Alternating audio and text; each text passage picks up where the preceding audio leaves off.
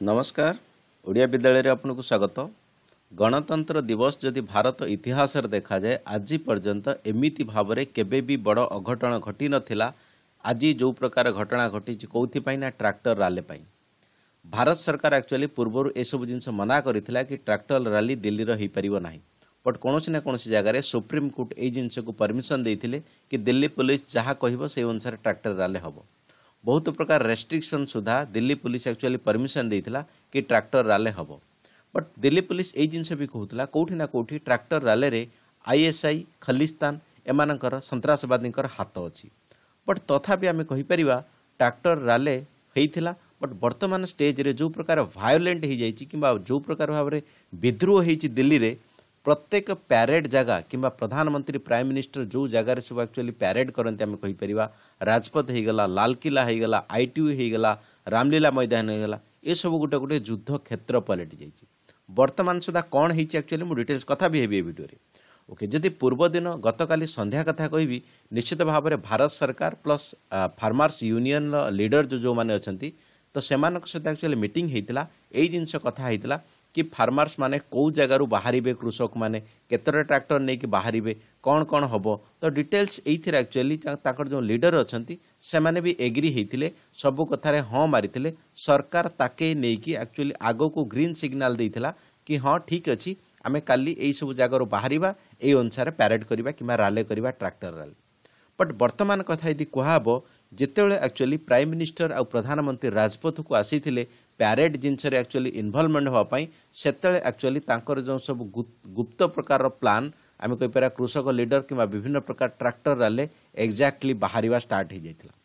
ପ୍ରଥମ ତ ଆପଣ ଦେଖିପାରୁଥିବେ ପିକ୍ଚର ମାଧ୍ୟମରେ ସବୁ ଯେଉଁ ବ୍ୟାରିକେଡ୍ ଲଗା ହେଇଥିଲା ଯେଉଁ ଯେଉଁ ଜାଗାରେ ଆକ୍ଚୁଆଲି ବ୍ୟାରିକେଡ୍ ଲଗା ହେଇଥିଲା କ'ଣ ପାଇଁ ନା ଯେଉଁଠି ପ୍ୟାରେଡ୍ ହେବ କିମ୍ବା ଯେଉଁ ରୁଟ୍ରେ ପ୍ରାଇମ୍ ମିନିଷ୍ଟର ହେଇଗଲା ପ୍ରେସିଡେଣ୍ଟ ହେଇଗଲା ଅଲଗା ପ୍ରକାରର ଆମେ କହିପାରିବା ଗଣ ମାନେ ଗଣତନ୍ତ୍ର ଦିବସ ପାଇଁ ଯେଉଁ ସ୍ପେଶାଲ ପ୍ରୋଗ୍ରାମ ଥିଲା ସେହି ସବୁ ପ୍ରୋଗ୍ରାମ ଗୁଡ଼ାକ ଦ୍ୱାରା ପୋଲିସ ବ୍ୟାରିକେଡ୍ ଲଗେଇଥିଲା ଇନ୍ ଦ ସେନ୍ସ ବ୍ରକେଜ୍ ଲଗେଇଥିଲା।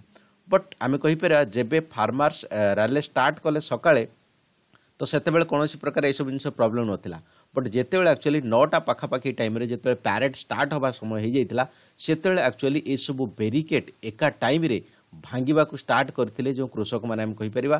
ତ ଖାଲି ବ୍ୟାରିକେଡ୍ ଭାଙ୍ଗିବା ସେଇଟା ନୁହେଁ ଡେଫିନେଟଲି ପୋଲିସ ପ୍ଲସ୍ ଆମର କହିପାରିବା କୃଷକ ୟୁନିୟନ ଲିଡର ପ୍ଲସ୍ କୃଷକମାନେ ପ୍ଲସ୍ ଟ୍ରାକ୍ଟର ଏମାନଙ୍କ ସମସ୍ତଙ୍କ ଭିତରେ ପୁରା ଧକ୍କା ହାବୁକା ଆମେ କହିପାରିବା। ଦିଲ୍ଲୀ ସଡ଼କ ହେଇଗଲା ଲାଲକିଲ୍ଲା ହେଇଗଲା କୁତୁବ ମିନାର ହେଇଗଲା ପ୍ଲସ୍ ଏସବୁ ଜାଗା ହେଇପାରିଲା ଗୋଟେ ପ୍ରକାର ଯୁଦ୍ଧ କ୍ଷେତ୍ର ପାଲଟି ଯାଇଥିଲା। ତେଣୁ କୌଣସି ନା କୌଣସି ଜାଗାରେ ଯେଉଁ ଭାରତ ସରକାର ପୂର୍ବରୁ ଏଇସବୁ ଜିନିଷକୁ ପ୍ଲାନ୍ କରୁଥିଲା କି ଏଇଟା କେବେ କୃଷକ ଆନ୍ଦୋଳନ ନୁହେଁ ଏଇଟା ଗୋଟେ ସନ୍ତାସବାଦୀ ଆନ୍ଦୋଳନ। ଯଦି ଆମେ ୟାକୁ ରୁକ୍ ନ ଲଗେଇବା କେଉଁଠି ନା କେଉଁଠି ବଡ଼ ଅଘଟଣ ହେବାକୁ ଯିବ। ତ ଡେଫିନେଟଲି ସେଇଟା ଆକ୍ଚୁଆଲି ପ୍ରୁଫ୍ ହେଇଯାଇଛି କେବଳ ସେତିକି ନୁହେଁ। ଯଦି ଆମେ ଲାଲକିଲ୍ଲା କଥା କହିବା ଯେଉଁଠିକି ପ୍ରଧାନମନ୍ତ୍ରୀ ପ୍ରତ୍ୟେକ ଅଗଷ୍ଟ ପନ୍ଦର ତାରିଖ ଦିନ ଏଇ ଜାଗାରେ ଝଣ୍ଡା ଫେରାନ୍ତି କିମ୍ବା ଏଇ ଜାଗାରେ ପତାକା ଉତ୍ତୋଳନ କରନ୍ତି ସେଇ ଜାଗାରେ ଆପଣ ଦେଖିପାରୁଥିବେ ଭିତରେ ଟ୍ରାକ୍ଟର ଥୁଆ ହେଇଛି ଏଇସବୁ ଜାଗାରେ ଆକ୍ଚୁଆଲି ଯାଇକି ଏମାନେ ଷ୍ଟ୍ରାଇକ୍ କରୁଛନ୍ତି। କେବେ ପିସ୍ଫୁଲ୍ ନୁହେଁ ବହୁତ ଭାୟୋଲେଣ୍ଟ ୱେରେ ଏମାନେ ଏଇ ଜିନିଷ କହୁଛନ୍ତି ଯଦି କୌଣସି ପ୍ରକାରରେ ସରକାର ଯେଉଁ ତିନିଟା ଏଗ୍ରିକଲଚର ଲ ପାସ୍ କରିଛି ବିଲ୍ ପାସ୍ କରିଛି ସେ ଜିନିଷକୁ ଯଦି ପ୍ରତ୍ୟାହାର ନ କରିଛି ଏ ଆନ୍ଦୋଳନ ଆକ୍ଚୁଆଲି ଜାରି ରହିବ।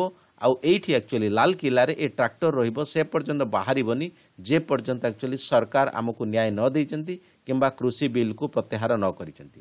ଯଦି ମୁଁ ଫାର୍ମର୍ସ କଥା କହିବି ଯେତିକି ଫାର୍ମର୍ସ ଥିଲେ ବର୍ତ୍ତମାନ ସୁଦ୍ଧା ରିସେଣ୍ଟ ଏଇ ନ୍ୟୁଜ୍ ଆସୁଛି କି ପଞ୍ଜାବ ହରିୟାଣାରୁ ଲକ୍ଷାଧିକ ସଂଖ୍ୟକ ଏବେ ଫାର୍ମର୍ସ କିମ୍ବା କୃଷକ ଦିଲ୍ଲୀ ମୁହାଁ ହେଇଛନ୍ତି ଆଉ ସମସ୍ତଙ୍କୁ ପ୍ରତ୍ୟେକ ଦୁଇ କିଲୋମିଟର ତିନି କିଲୋମିଟର ଲଙ୍ଗର ମିଳୁଛି। ଇନ୍ ଦ ସେନ୍ସ କ'ଣ? ଫ୍ରିରେ ଖାଇବା ମିଳୁଛି ପାଣି ମିଳୁଛି ବିଭିନ୍ନ ପ୍ରକାର ସବୁ ଆମେ କହିପାରିବା ଫ୍ୟାସିଲିଟି ମିଳୁଛି କମ୍ବଳ ମିଳୁଛି କି ପ୍ରତ୍ୟେକ ଜିନିଷକୁ ଏଇ ଜିନିଷ ପ୍ରହୂଷଣ କରାଯାଉଛି କି ହଁ ସମସ୍ତେ ଚାଲ ଦିଲ୍ଲୀର ଯେଉଁ ପ୍ରକାର ଭାୟୋଲେଣ୍ଟ ହେଇଛି ତାକୁ ଆହୁରି ହଜାରେ ଗୁଣରେ ଶହେ ଗୁଣରେ ଆମେ ତାକୁ ବଢ଼େଇଦେବା ବହୁତ ବଡ଼ କଥା। ଯଦି ଆମେ କହିବା ଗଣତନ୍ତ୍ର ଦିବସ କଥା ଗୋଟେ ପ୍ରକାର ସମ୍ମାନ ଗୋଟେ ପ୍ରକାର ରେସ୍ପେକ୍ଟ ଯେଟାକି ପୁରା ବିଶ୍ୱରେ ଦେଖାଯାଏ କ'ଣ? ନା ପ୍ୟାରେଡ୍ ଇନ୍ ଦ ସେନ୍ସ ଭାରତରେ ସାମରିକ ବାହିନୀ କେତେ ଷ୍ଟ୍ରଙ୍ଗ এটা ଆକ୍ଚୁଆଲି ବିଶ୍ୱ ସାମ୍ନାରେ ଦେଖାଯାଏ ଏଇ ଦିନ କେଉଁ ଦିନ ନା ଜାନୁଆରୀ ଛବିଶ ଦିନ ବଟ୍ ଏଇ ଜାନୁଆରୀ ଛବିଶ ଦିନ ପୁରା ଆମେ କହିପାରିବା ଦିଲ୍ଲୀ ସହର ପାର୍ଲାମେଣ୍ଟ କତରୁ ଆରମ୍ଭ କରିକି ରାଜଘାଟ କତରୁ ଆରମ୍ଭ କରିକି ବାକି ସମସ୍ତ ଜାଗା ଯଦି ଏଇ ପ୍ରକାର ଯୁଦ୍ଧ କ୍ଷେତ୍ର ପାଲଟିଯିବ କେଉଁଠି ନା କେଉଁଠି ଭାରତର ଇମେଜ୍ ଯେଉଁ ବିଶ୍ୱ ସାମ୍ନାରେ ଅଛି ତା ନିଶ୍ଚିତ ଭାବରେ ତଳକୁ ହେବ ଆଉ ଭାରତ ଏଇ ଜିନିଷ କ୍ଲିଅର କଟ୍ ଏବେ ଏଇ ଜିନିଷ ମେସେଜ ଦେଇଛି ଯେଉଁ ପ୍ରକାର ଦିଲ୍ଲୀ ପୁଲିସ ଭାବନା କରୁଥିଲା କି ଏଇଥିରେ ଆଇଏସ୍ଆଇ ପ୍ଲସ୍ ଆମେ କହିପାରିବା ଖଲିସ୍ତାନର ହାତ ଅଛି ଏଇଥିରେ ଇନଭଲ୍ଭମେଣ୍ଟ ଅଛି ବୋଲି ଭାରତ ସରକାର ଏବେ କନଫର୍ମ ହେଇଯାଇଛି ଏଇସବୁ କାରଣରୁ ଯେଉଁ ଏଇ ଯେଉଁ ଉଗ୍ର ଟାଇପ୍ର କୃଷକଙ୍କର ଆମେ କହିପାରିବା ଆନ୍ଦୋଳନ ଟାଇପ୍ ଏଥିରୁ ଭାରତ କନଫର୍ମ ହେଇଯାଇଛି କି ହଣ୍ଡ୍ରେଡ଼ ପରସେଣ୍ଟ ଏଥିରେ ହାତ ଅଛି। ଡେଫିନେଟଲି ଭିଡ଼ିଓ ରଖିବି ବଟ୍ ଗଣତନ୍ତ୍ର ଦିବସରେ ଏମିତି କୃଷକମାନେ ଯେଉଁ ଆମେ କହିପାରିବା ହଙ୍ଗାମା କରିଛନ୍ତି ସେଥିରେ ଆକ୍ଚୁଆଲି କ'ଣ କରିବା ଦରକାର ସରକାର? ଏମାନଙ୍କୁ ପ୍ରପର ଶାସ୍ତି ଦେବା ଦରକାର? ନା ସରକାର ଆକ୍ଚୁଆଲି ଯେଉଁ ପ୍ରକାର ବିଲ୍ ଆଣିଛି ଆଗ୍ରିକଲଚର ଲ ଆଣିଛି ଯେଉଁଟାକି କୃଷକମାନେ ଚାହୁଁନାହାନ୍ତି ସେଇଟା ସରକାର ଆଣୁ ବୋଲି ନା ସେଇଟାକୁ ହଟେଇ ଦେବା ଦରକାର? ଡେଫିନେଟଲି କମେଣ୍ଟ ବକ୍ସରେ ଲେଖନ୍ତୁ।